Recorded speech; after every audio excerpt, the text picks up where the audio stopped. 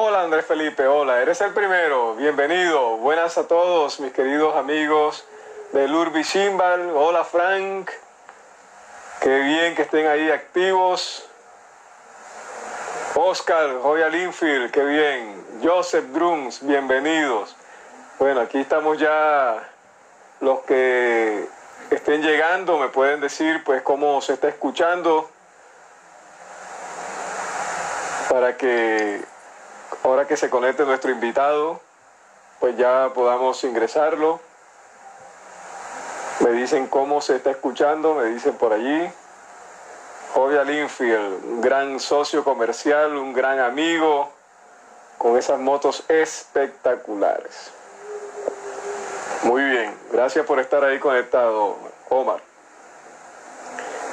Vamos a... Ya se conecta nuestro queridísimo amigo, ya está por aquí. Vamos a invitarlo a entrar. Y vamos aprovechando todo este tiempo.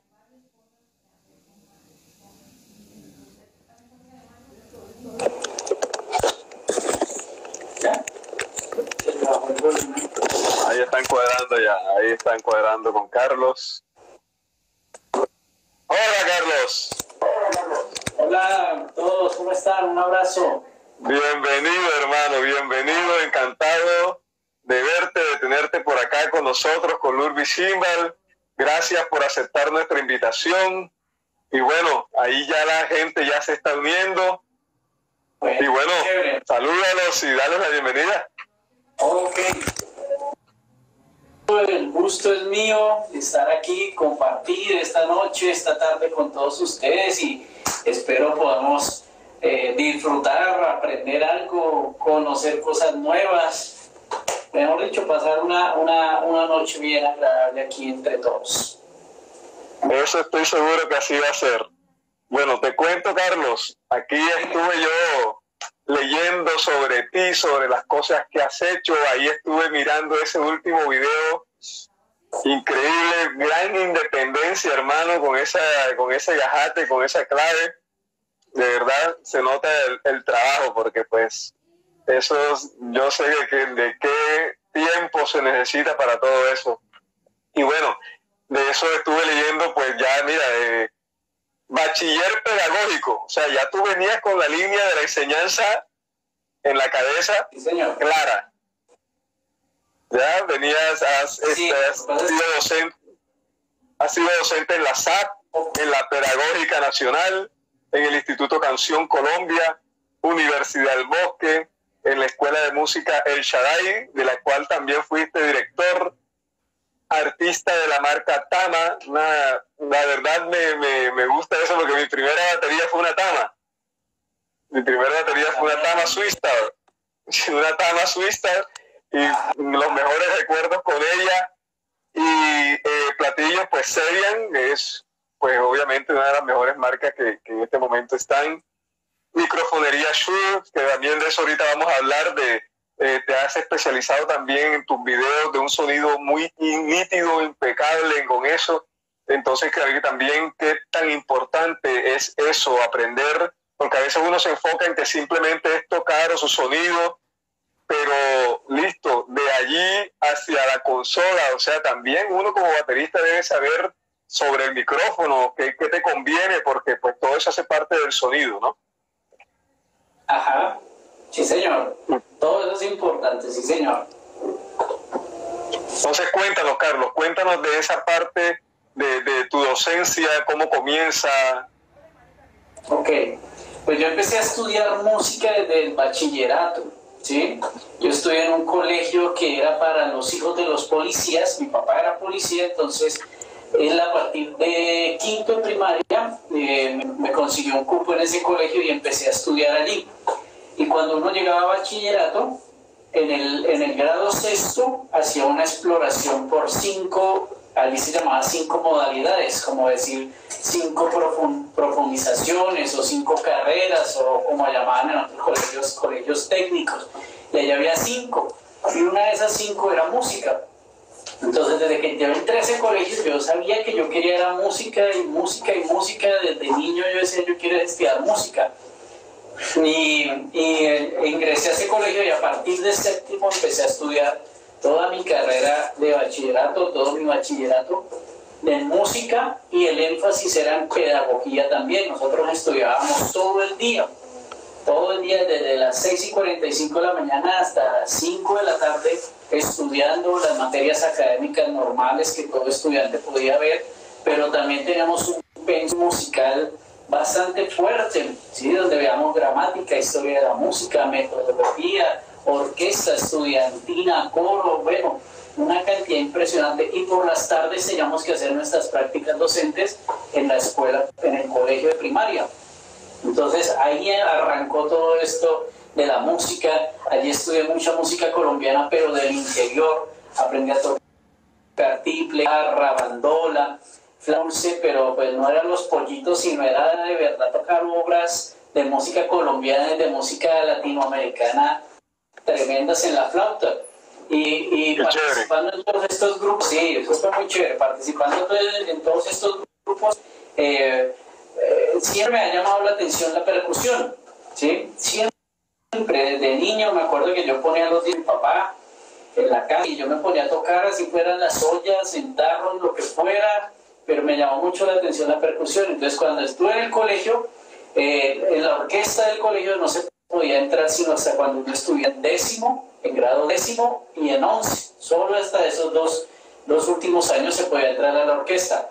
Pero yo tenía una fiebre eh, por estar ahí que me las ingenié y, empecé tocando la caja china en la orquesta. Estaba en octavo grado y ahí... Por alguna parte tenía que, por, por algo tenía que empezar, hermano tenía que empezar, yo quería estar ahí y, claro, pues yo me sentía ya privilegiado de estar ahí en la orquesta.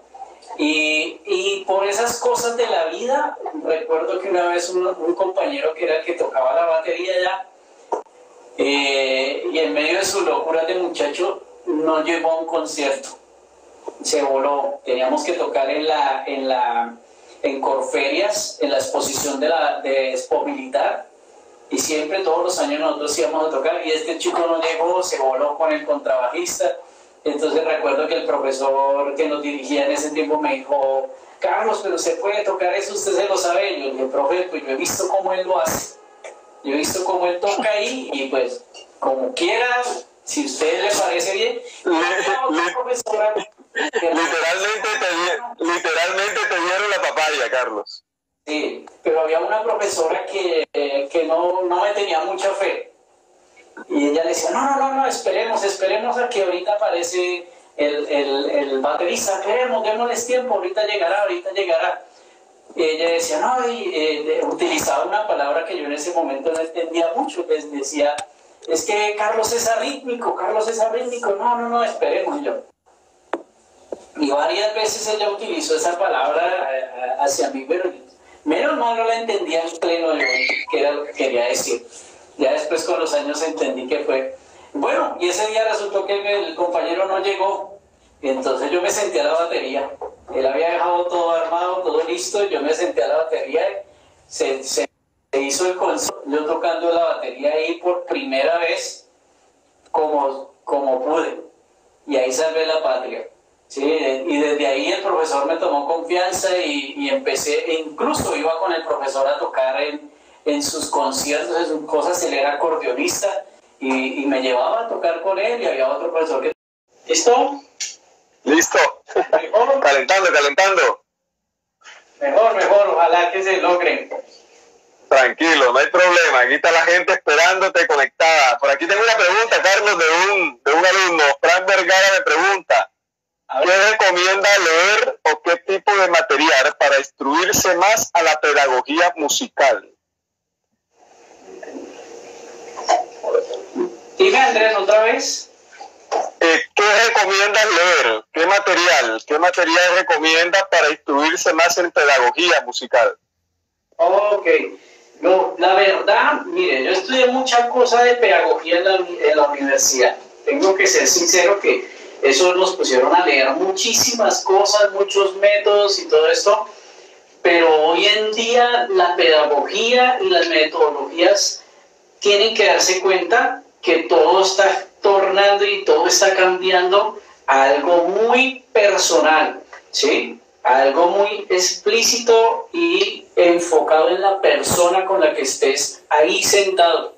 Hay algunos, hay algunos rudimentos, hay algunos recursos, hay algunas técnicas, pero hoy en día todo ha cambiado tanto que, que la formación exige eso, que tú tengas una relación eh, directa con el, con el estudiante, con tus estudiantes, y empieces a, a, explorar cómo es el mundo de esa persona, cómo es la cabeza de esa persona, cuáles son sus habilidades, cuáles son sus dificultades también, y empezar a trabajar a partir de las habilidades, de las destrezas que esa persona tenga, empezar a aportarle, empezar a corregirle, empezar a darle un rumbo, una ruta diferente a, la, a, su método de enseñanza. Hoy, hoy en día toca, es demasiado así, muy personal la metodología. Cuando yo escribo estos libros, justo los escribo por eso, porque uno, pues no tenía mucho material escrito. Yo estudié de la batería fue viendo los videos y transcribiendo. Yo veía cosas, veía Kira Jimbo, veía Denny Chambers, veía Horacio Hernández, veía Dave Weckel, pero no tenía materiales, no tenía libros. ¿sí? En ese tiempo no era tan fácil acceder a todo lo que hoy usted escribe en su computador, ta, ta, ta, tal músico, esto, o todo el mundo anda publicando partituras, poniendo cosas. En ese tiempo no había nada, entonces yo estudié a partir de ver, oír, transcribir. Y luego que transcribía me sentaba aquí a la batería a estudiar lo que había transcrito y veía los videos muchas veces, los veía, los veía, le ponía cuidado. Recuerdo cuando estudió Horacio Hernández, cogía mano por mano, qué hacía en la mano derecha, escribía, luego qué hacía en la izquierda, y luego qué estaba haciendo en los pies, parte por parte. Entonces, a mí personalmente, y sé que a muchos de los que estudiaron en, mi generación, donde no teníamos tantos recursos y tantos materiales, y, sé que eso fue lo que los, los, ayudó y nos ayudó a todos a, a desarrollar unas habilidades, fue el tener que escuchar. Yo siempre le digo, siempre lo digo y se lo digo a todos, el mejor maestro de música es la música misma. Si tú quieres estudiar jazz, ok, vete a escuchar, a, averiguar cuáles fueron los bateristas de jazz, los pioneros, cómo empezó todo esto y ponte a escuchar esa música, averiguar, ver videos de ellos, escribir, escribir, escribir, transcribir, escuchar, empaparte de esa música y luego llevarla a la práctica. Lo que pasa es que hoy, eh, hoy en día, eh, como todo es tan fácil, es tan fácil acceder a todo con un clic, tú seleccionas allí, buscar todo, pues también eso, eso nos, nos ha hecho que, que de alguna u otra manera las personas se vuelvan demasiado confiadas. Ah, no, ¿quieres decir eso? Luego voy al computador y seguramente ya encontraré. A nosotros nos tocaba así, a nosotros nos tocaba escuchar los discos, escuche y escuche, escriba y luego póngase a reproducir y vaya a tocar con sus amigos de la universidad en los espacios que pudiéramos, con los instrumentos que tuviéramos y, hacerlo con las uñas, pero eso nos, eso nos, yo creo que eso fue lo que nos impulsó a, querer ser cada vez mejores, porque no hablo solo por mí, hablo de muchos músicos con los que yo tuve la oportunidad de crecer y que hoy en día son tremendos músicos. Aquí me preguntan también, ¿cuáles han sido los tres discos que más lo han influenciado o impactado en tu carrera? Ok, yo recuerdo que yo estaba en la cafetería de la universidad. Estaba allí almorzando cuando allí siempre ponían música. Y empezó a sonar una vaina que yo, Dios mío, ¿esto qué es? Y empecé a preguntar, ¿quién puso esa música? ¿Quién, ¿quién es eso? Y, entonces la señora de la cafetería me dijo, no, lo trajo esta muchacha, me acuerdo una, una amiga que tocaba conga. En ese tiempo, no, lo trajo Mónica, creo que se llamaba Mónica, sí. Y le dije, Mónica, ¿qué es ese disco? Y me dijo, no, ese es el disco One More Once de Michel Camilo en Big Bang. Y yo, ahí fue cuando yo me enloquecí. Y yo dije ahí, quiero ser un baterista así. Pues ahí tocaba algunos temas, los tocaba Dave que otros los tocaba Steve Cap, otros los tocaba otro... ese disco fue un compendio de gente bárbara. Una cosa monstruosa que hoy en día yo todavía lo escucho.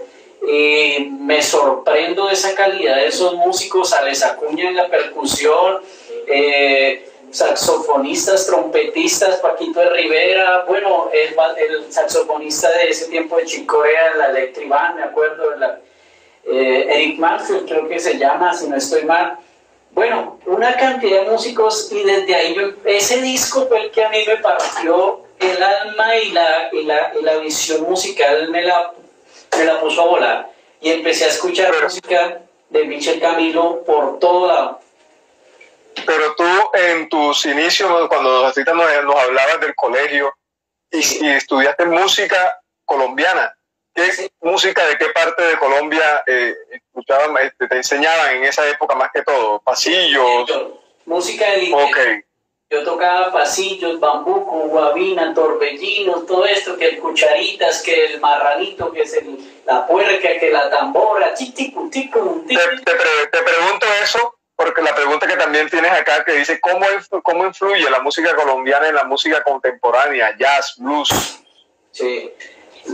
Cuando, cuando yo empecé todo esto del jazz, eh, apareció también en, medio de todo este auge que había del Latin Jazz, porque en ese tiempo estaba Eddie Martínez, el, el, claro, el pianista. Pastuso, y él fue el que se trajo a todos estos grandes músicos venezolanos y cubanos. Cuando llegó Batanga aquí a Colombia fue cuando Eddie Martínez se trajo a toda esta gente. Ernesto Simpson se lo trajo a él, el Nene Vázquez, el otro percusionista Joel Márquez, que estuvo también aquí en Colombia, el nene cubano del timbalero no me acuerdo, pero bueno, y ahí en ese auge, en medio de ese auge del Latin Jazz, es cuando también escucho al gran maestro y amigo Antonio, eh, ay, se me fue el nombre.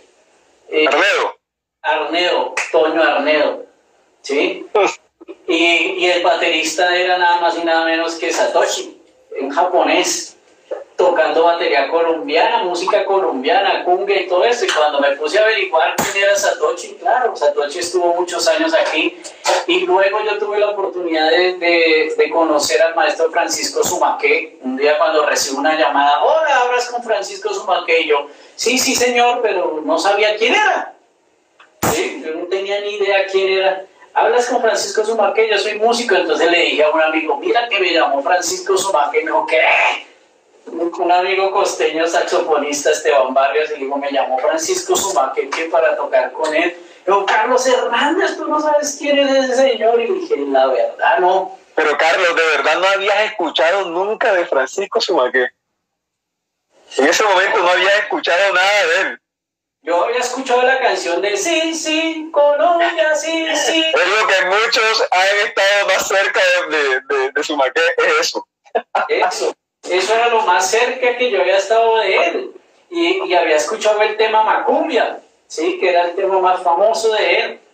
Pero no sabía quién era Francisco Sumaque. O sea, yo escuchaba las canciones, pero ni idea. Cuando me llama y me dice, que tengo este proyecto, pues resulté tocando toda esa música que había grabado Satoshi con el maestro Francisco Sumaque, con el maestro Toño Arnedo, con muchos maestros de aquí de, Colombia, eminencias de la música colombiana, resulté tocando. eso, ¿Sí? Esa es otra escuela. Ya aprender al lado de esa gente es otra escuela.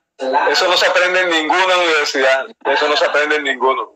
Nada, y yo me acuerdo que tenía un amigo que, que, que se me burlaba, un trombonista, y me decía, aquí sí vas a aprender lo que es hacer música. Y yo decía, pero ¿cómo así? Si yo me la paso en mi batería estudiando seis, ocho horas diarias. Y él me decía, espérate y verás que aquí vas a aprender lo que es hacer música. Y me relacioné, me relacioné con muchos amigos músicos costeños. ¿sí?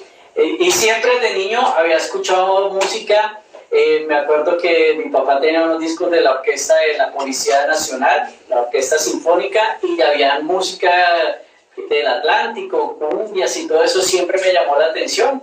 Y yo lo tocaba ahí como podía y, le hacía como podía. Pero ya en ese momento fue cuando yo dije, no, esto es otra cosa, esto es otra cosa. Entonces unir el jazz a la música tradicional colombiana, a ese sonido de, de la música colombiana, eso fue una experiencia muy hermosa. De hecho, todavía me hablo con el maestro Sumaque la última vez que me vi con él ahorita en diciembre. Estuvimos hablando y, claro, tenemos que seguir tocando con él, seguir aprendiendo porque es un gran maestro de la música, de los pioneros de la, del jazz en Colombia fusionado con la música colombiana. Y yo creo algo importante que como, como pues pedagogo de, de, esto, tú pues ya que has estudiado muchísimo más que yo la pedagogía, digamos que la parte investigativa, la parte investigativa es algo esencial para poder ya crear, porque hoy mismo se habla de eso, mucho fusión, se habla de mucha fusión, se habla de querer tocar este jazz con reggae, pero tú le preguntas al músico de dónde viene el reggae, no tiene ni idea, de pronto Jamaica, y, y, y le dices de dónde viene el jazz y te habla pues de Estados Unidos. Pero no, no investigan la esencia de cada cosa para poder ellos crear y hasta hacer propio eso y darle un sonido, ¿ya? O tener recursos nuevos, porque pues eso es lo que se debe hacer primero que todo, una de la fusión hasta qué baqueta usar para lograr un sonido, todo eso. Por ejemplo, tú, tu marca Tama, cuéntanos un poquito de esa llegada a Tama. ¿Cómo, hace, cómo, cómo, llegaste a hacer? Bueno, te, quiero decir algo antes de, de hablar de, de, lo de Tama, con relación a esto de, de, estudiar la música. Lo que pasa es que a veces la, la gente cree que la fusión es solamente coger una canción de música llanera y ponerle un ritmo de, de, rock. Entonces, no, ya está. eso, eso pasa. Yo, tú sabes que yo estoy acá en el meta y, y no, vamos a fusionar. Entonces hacen chan, chan, chan, chan, chan, chan, chan, chan, chan, chan, chan, chan, y, y ya creen que ya lo hicieron. No, no, no. A mí, me, a mí me encanta la música llanera. De hecho, uno de los temas, el próximo tema que voy a grabar como solista en la batería, es un tema que me pasó un amigo que se llama Fernando Torres, que toca capachos. Él tiene un grupo de música llanera que se llama Musical Boss, creo que es así, Musical Boss. Y él ha participado en muchas cosas, un excelente maraquero. Su esposa toca el cuatro y ellos grabaron unas cosas. Yo dije, ¿puedo coger esta música y, y hacerle una fusión con mi batería? Me dijo, claro, maestro, yo cogí esa canción y la destrocé, literalmente la destrocé. Yo cogí la, pista del tema de él, voy aquí, voy, corté partes y metí sonidos de música electrónica, busqué cantos de, de los, de los juglares, de todo esto, y fusioné todo eso, y ese va a ser el próximo tema que voy a grabar. Ese no lo he grabado todavía, lo tengo ahí en, en remojo, pero cuando yo empecé a estudiar esta música llanera, yo cogí los discos de música llanera y me ponía a escuchar cosa por cosa. Escuchaba cómo era la rítmica del cuatro, cómo era la rítmica de las maracas, cómo era la parte rítmica del, del arpa, de la bandola. Y es un juego de, de polirritmias tan interesantes que dije, no, esto toca, toca hacerlo. De hecho, en un tema que toqué con, con tres butacas en el Festival de Jazz, está, está montado en mi canal de YouTube y es un solo sobre un pajarillo y sobre un, ¿cómo se llama? El otro ritmo. Bueno, se me va ahorita el nombre. Guapa, ¿eh? lo que hice y mantengo un ostinato con los pies. ¿Qué, Un, dos, tres, un, dos, tres, un, dos, tres, un, dos, tres, un, dos, tres, un, Y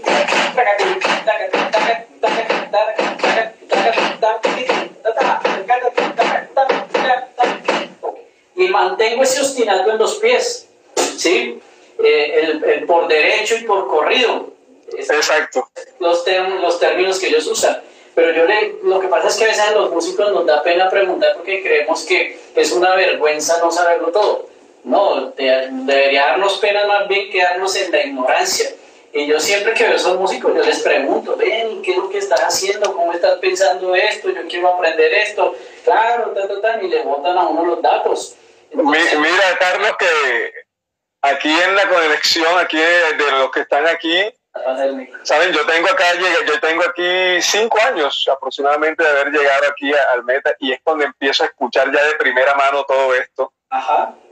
Y una cosa increíble, o sea, es, y, la, y, la, y, la, y, la, naturalidad, ¿no? Es, es como, como en la costa, que tocan la cumbia con, que le sale de la, de la, de la vena aquí, y, pero ya entonces ya tú ves ese manejo de seis octavos y de, y de y de esa polirritmia increíble con las maracas, el, el, el, floreo y todo, hasta en la, mismo, en la misma danza.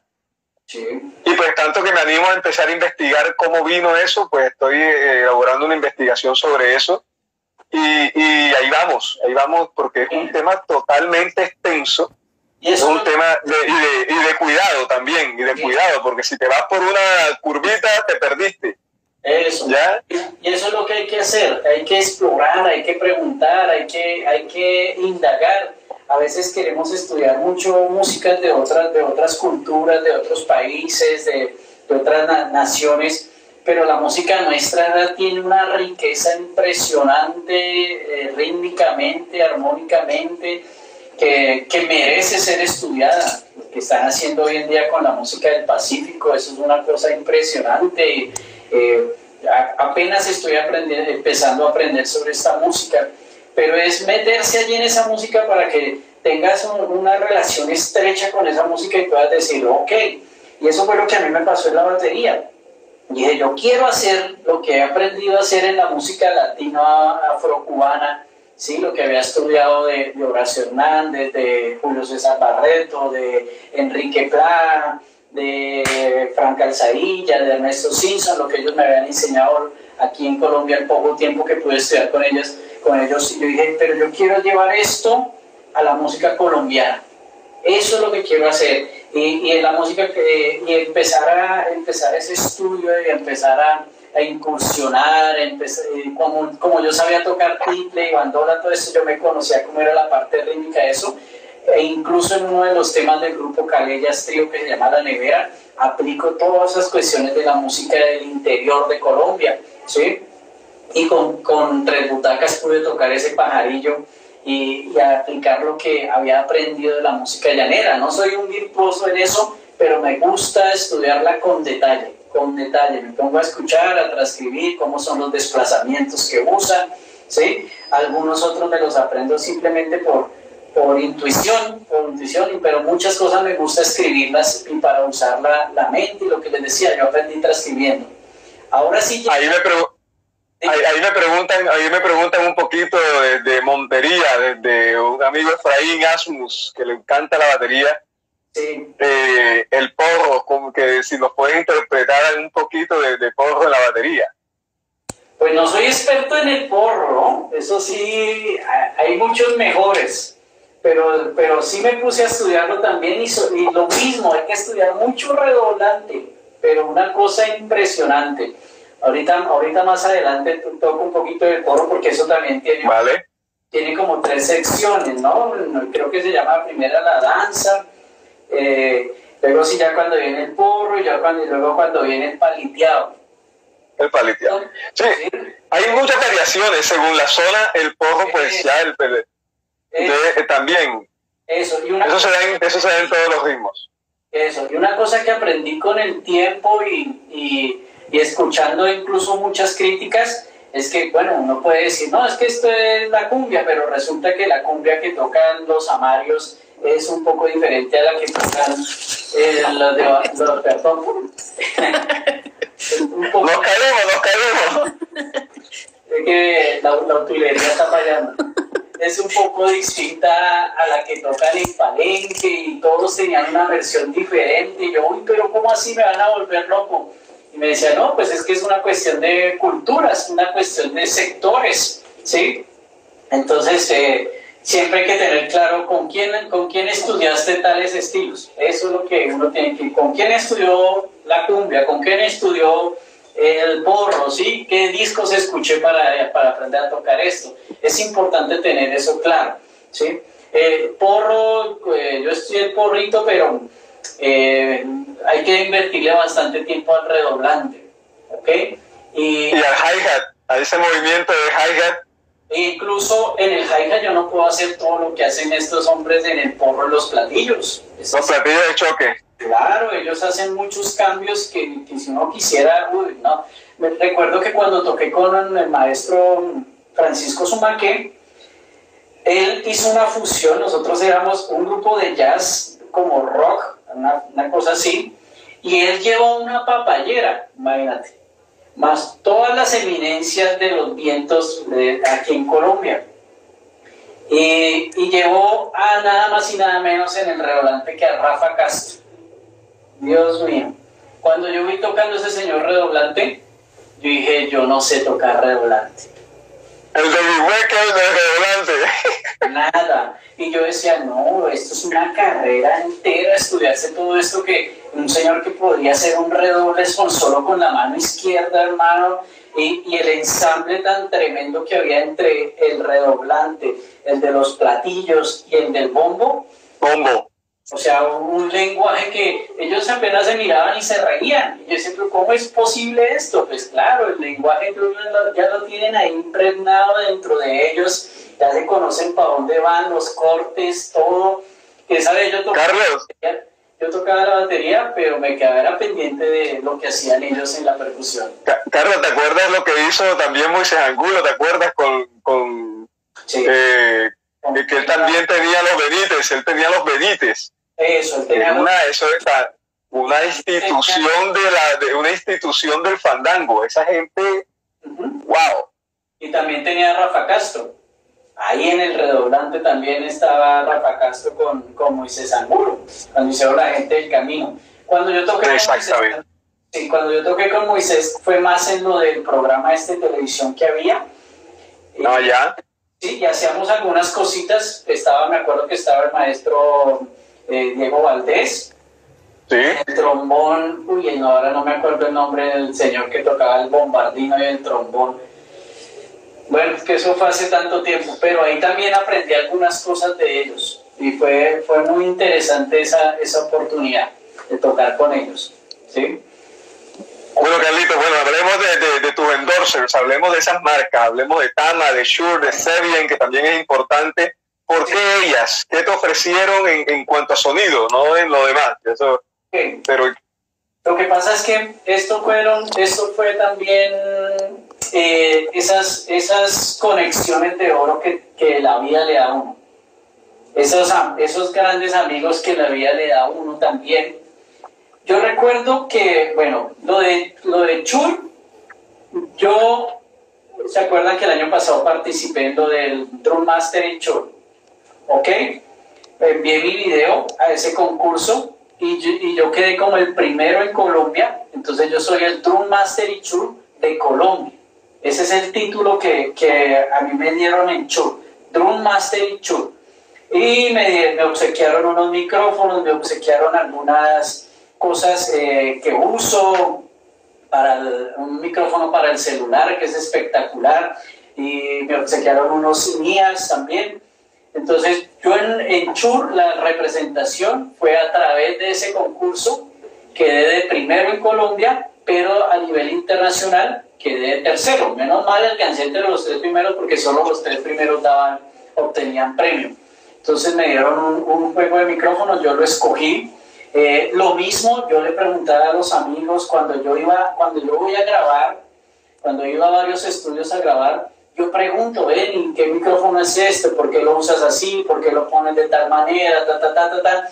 Porque hay que aprender, uno no sabe en qué momento lo necesita o usted quiere hacer su proyecto, quiere hacer su disco y resulta que no tiene para pagar un estudio, pero usted tiene su home studio y, y tiene sus micrófonos, pues uno va aprendiendo cómo instalarlos, cómo ponerlos y, y a Claro. amigos ingenieros, ingenieros de sonido siempre les pregunto, incluso antes de pedir los micrófonos en Chur, yo les di, yo le escribí a dos amigos, a Daniel Zárate, me acuerdo que, la mayoría aquí en Bogotá lo conocen, del, dueño de Mix Factory, y a Camilo Pérez también, que es un tremendo ingeniero de sonido y son dos grandes amigos míos.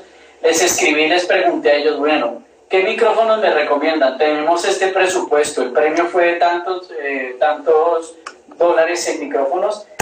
¿Qué puedo hacer con eso? Entonces ellos me fueron guiando, me fueron diciendo, no, pídete esto, pídete esto, ta, ta, ta. Yo quería que me quedara un juego de micrófonos más o menos para toda la batería. Entonces ellos me guiaron.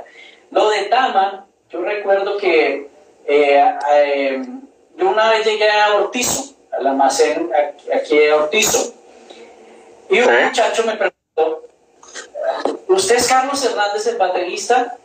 Dije, sí, señor. Yo creo que subí a comprar unas baquetas, algo subí a comprar a Ortizo. Y me dijo, uy, yo lo admiro mucho, maestro, que ta, ta, ta, ta. Ese amigo se llama Alejandro Ariza. En esa fue la primera vez que yo me relacioné con él. Entonces Alejo, Alejito me dijo, venga maestro, regáleme su número, yo lo quiero contactar, queremos hacer varias cosas aquí con el almacén, con algunas marcas, y queremos que estamos buscando bateristas que, que podamos eh, acompañar en su proceso y todo eso. Yo le dije, claro, Alejito, desde ahí me hice muy amigo de Alejito, Alejo Ariza. Eh, y cuando un día Alejo me llama, me dice, mira, es que va a venir el maestro Richie Gajate, que ustedes lo tuvieron aquí en la sesión.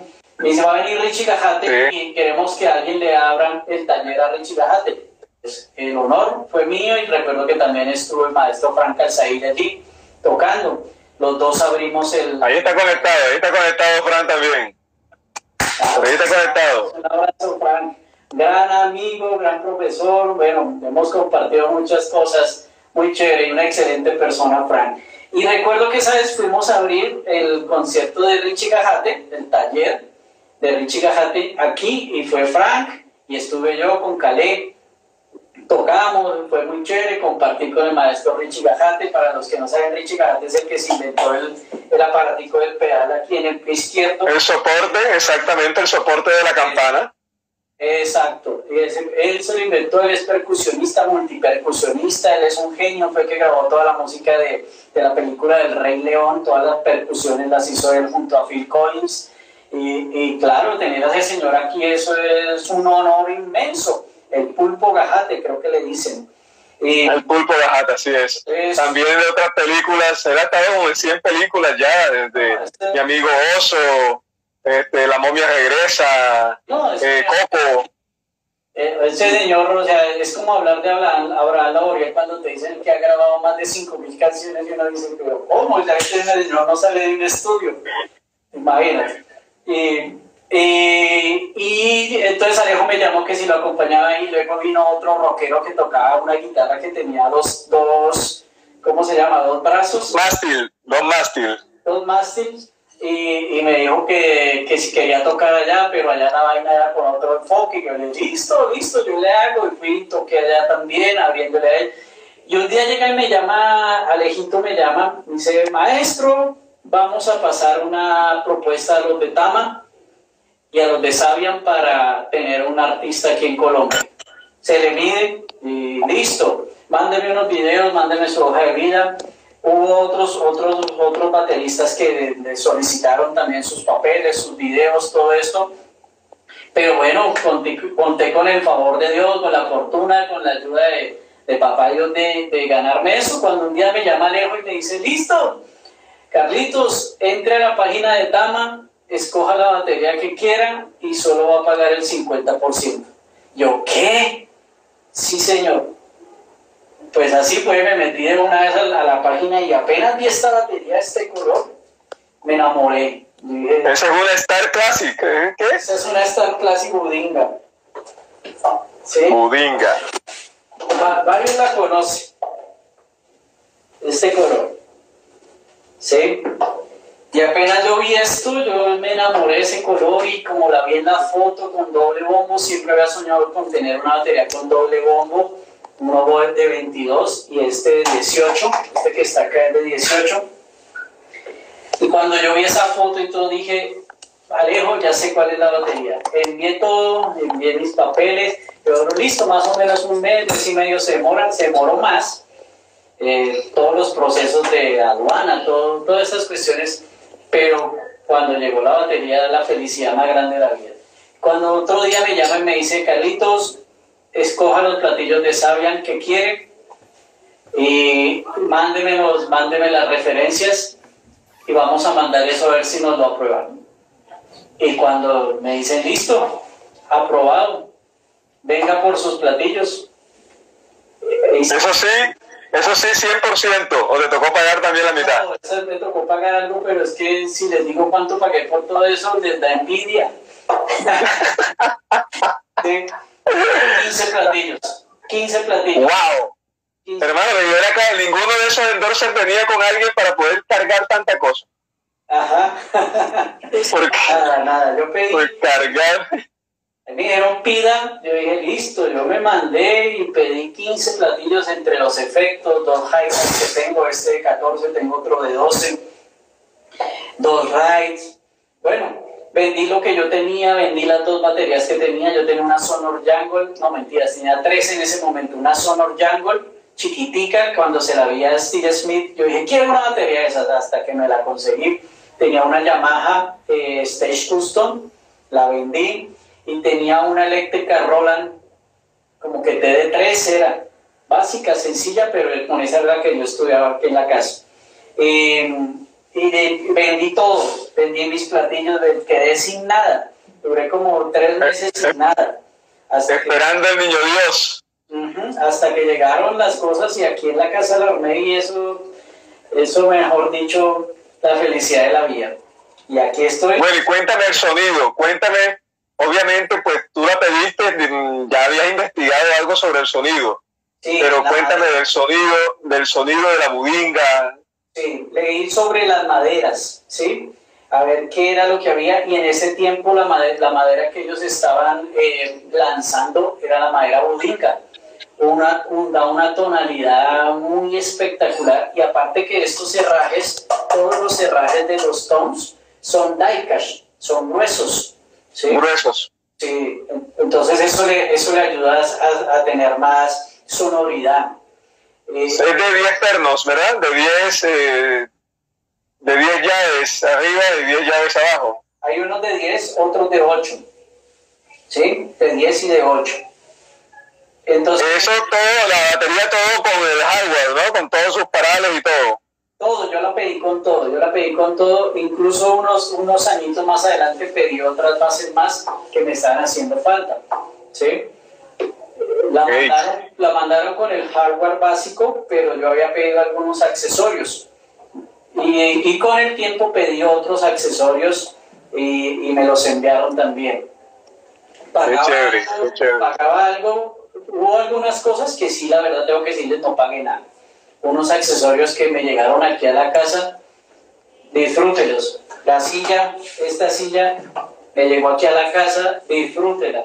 Y es una silla que Dios mío, aquí puede uno durar sentado todo el tiempo que quiera.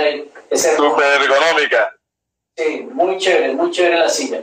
Entonces, hubo algunas cosas que, bueno, gracias a Dios llegaron. ¿sí? Ahorita se está volviendo a hacer toda la conexión con Tama porque esos, esos son periodos como de dos años. Entonces, los primeros años ya, ya pasaron y se está haciendo toda la conexión. El año pasado vinieron a final de año los de Tamas, los de Ibáñez, creo que fue Hicimos un concierto para ellos, un toque privado para ellos, junto con Catalina, la guitarrista. Catalina, sí, Catalina. Eh. Es ella el apellido, no me acuerdo del apellido. Eh, creo que es Bernal. Bernal.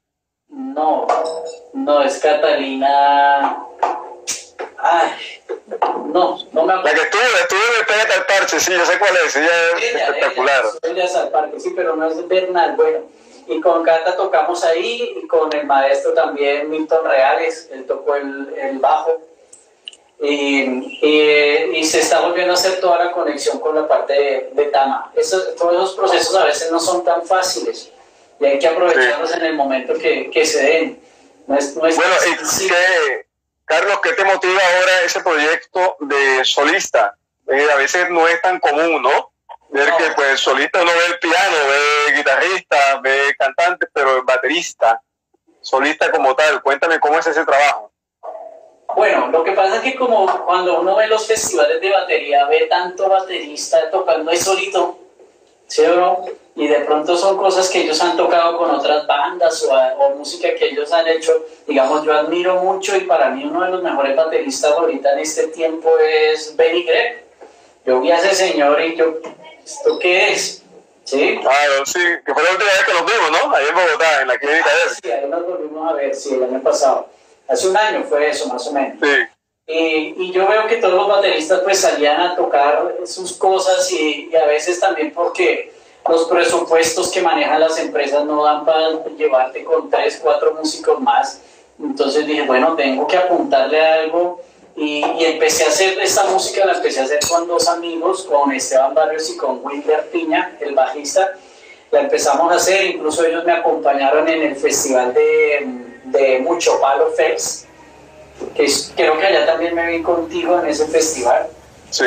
y que vino vino GP Bube, vino Tomás, Tomás ¿qué era? Eh, Tomás, Marcus Tomás. no me acuerdo. Marcus Tomás, Marcus Tomás. Y vino también este señor, ay, se me están olvidando todos los nombres ahorita. Oye, aquí me estás recordando el nombre, Catalina González. Catalina González, fue eso. Y con ella tocamos en diciembre para, para, esos, para los empresarios. Fue un trío, fue un concierto privado. Bueno, vinieron todos estos músicos al, al Mucho Palo Fest que lo organiza Gerson Pinzón. Y, y, fue, otra, fue otra gran oportunidad. Entonces, cuando toqué allí, yo le dije a Esteban y le dije a Wilder, quiero que llevemos algo, pero llevemos una música diferente, hagamos algo que no hemos hecho nada, una fusión de música drum and bass, música como electrónica con música colombiana y ta, ta, ta, y ellos me cogieron la pita y listo, hagámoslo, entonces Esteban tenía por ahí unas composiciones, unas cosas, y nos pusimos a organizar todo. Y ahí resulté yo tocando todo eso y con el tiempo he venido madurándolo, ya Esteban me mandó las secuencias, me mandó todos los tracks que teníamos, todo lo que habíamos hecho y le dije, compa, ¿puedo utilizar esto para, para mi proyecto personal? Me dijo, claro, dale, úsalo. Y sobre todo eso es que yo empezaba a construir. ¿Sí? Eh, Pero qué chévere, ya una buena base porque ya también la conocías. Claro. Ya es algo de lo que tú habías participado y eso ya es importante. Eso, entonces ahí yo dije, no, yo quiero hacer algo ya eh, como solista, no porque no quiera tocar con otros músicos, no, sino que quiero llevar toda esa experiencia que he tenido tocando con otros músicos, quiero llevarla ahora a otro, a otro nivel.